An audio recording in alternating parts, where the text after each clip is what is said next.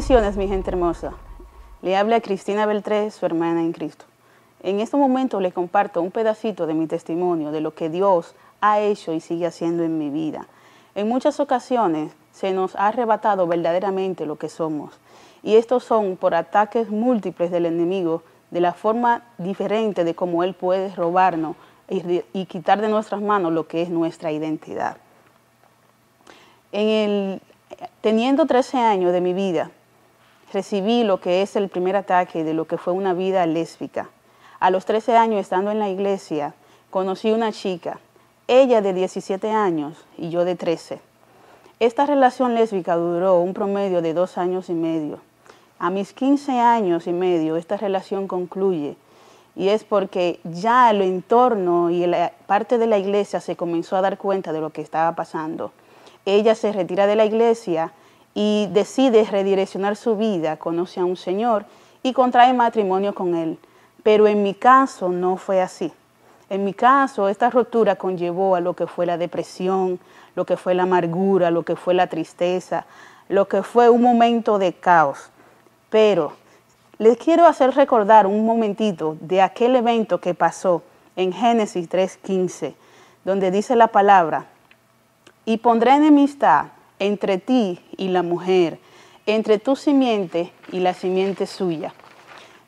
Si hago un paralelismo de lo que dice Salmo 51:5 en la versión NTV dice, pues soy pecador de nacimiento desde el momento en que me concibió mi madre pero la versión PDT me encanta porque es más claro y preciso diciendo, yo nací culpable, en pecado me concibió mi madre.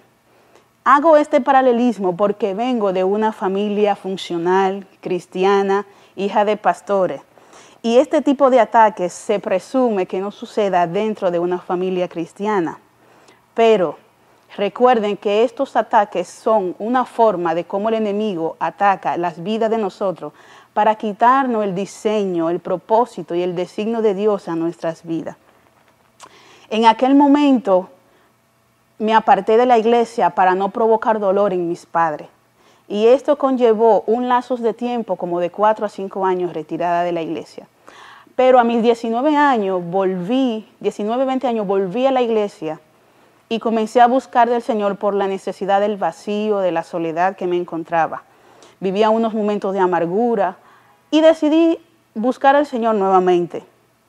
Al lazo de un año y algo de estar en la iglesia, fui blanco de ataque nuevamente del enemigo, en el cual en esta ocasión una líder de la iglesia se sentía atraída por mí y esto conllevó a reuniones dentro del liderazgo de la iglesia. Esto provocó de que esa líder le compartiera la información al pastor y contrajo como consecuencia un año de disciplina hacia mi vida. En aquel momento, un año de disciplina representaba estar sentada en el último banco de la iglesia como el patito feo. Allí nadie me miraba, nadie me buscaba. Yo llegaba a la iglesia y era a llorar. Me hincaba en el último banco hasta que el servicio terminaba. Al terminar este año de disciplina, pues esto me llevó a que definitivamente yo saliera del closet, como decimos, y que me dedicara total y rotundamente a la vida lésbica en medio de ese lazo de tiempo, pues comencé a hacer fiesta de Halloween para el ambiente homosexual, comencé a hacer actividades de gira y encuentro en diferentes provincias de nuestro país.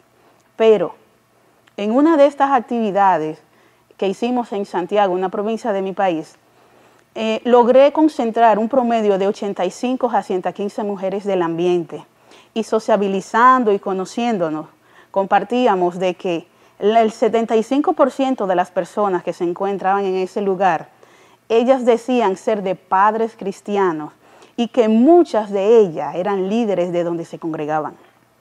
Para mí esto fue muy impactante.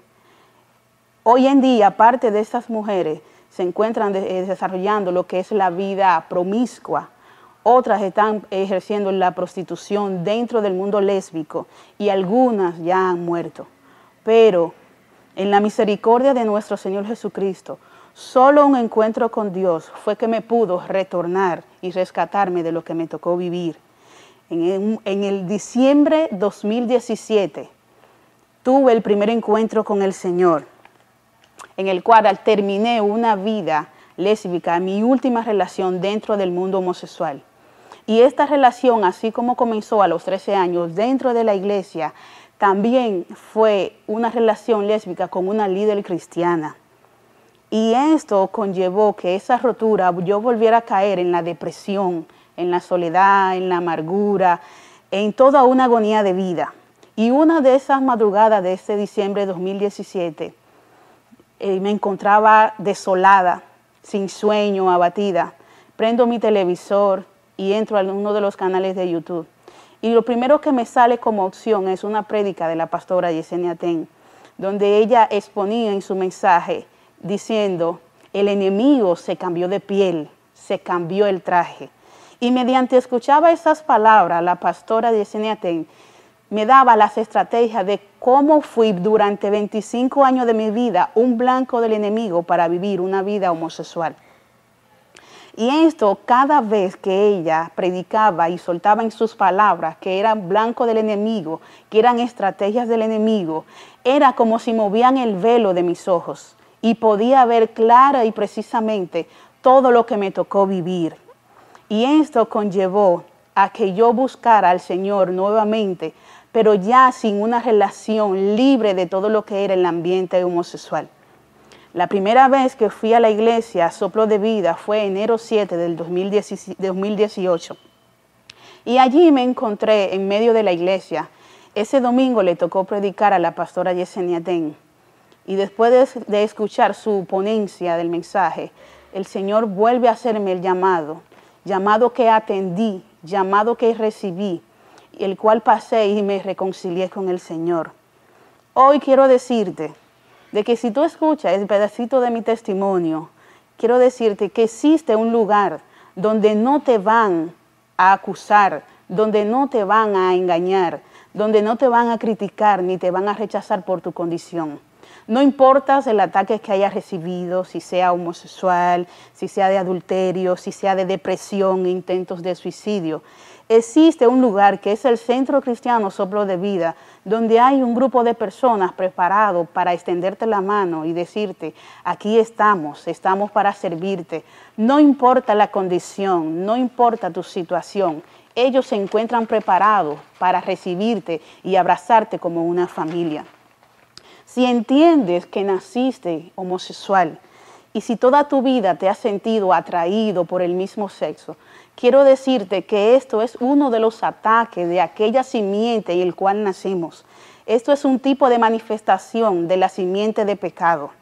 Pero si tú nos permites demostrarte que esta simiente se puede demostrar mediante las sagradas escrituras y mediante lo que es la ciencia, que no naciste así, que solamente es un blanco ataque del enemigo por la simiente pecaminosa en que nacemos. Aquí estamos dispuestos a demostrarte que tú no naciste así. Aquí estamos dispuestos a enseñarte de que Dios espera por ti y de que en muchos momentos de tu vida de amargura y de soledad, ya en los brazos del Señor, no volverán a existir. El Centro Cristiano Soplo de Vida te acepta como una familia, como parte de ellos y estamos preparados para recibirte con los brazos abiertos si llevas una vida homosexual o fuiste maltratado por lo que fue violaciones, por lo que fue maltrato físico verbal, recuerda que aquí estamos para extenderte las manos. No te vamos a criticar ni a menospreciar, pero estamos en la capacidad de que Dios nos ha dotado de dones y talentos para extenderte las manos y que tu vida sea restaurada, que tu vida sea sanada, que tu vida vuelva en sí de aquel engaño Recuerda, estamos aquí y queremos bendecirte, así como Dios lo hizo conmigo, restaurando mi vida, sanando mi alma, sanando las heridas de mi corazón, también lo hará por ti. Muchas bendiciones, te esperamos. Aquí te dejo un lazo de imágenes donde está mi antes y después, para que veas que solo Dios y una presencia del Espíritu Santo viva en ti puede ayudarte a devolverte tu identidad y devolverte la esencia de quién eres tú.